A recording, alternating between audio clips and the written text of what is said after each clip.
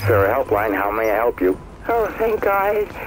I tried to reach the hospital, but I, I think I need some help. Okay, ma'am. If this is a medical emergency, you should call 911 instead. Is it an emergency? I have a fever and I can't stop throwing up. I just can't stop. I think I need a doctor. Ma'am, I can forward the call to the emergency. Morning.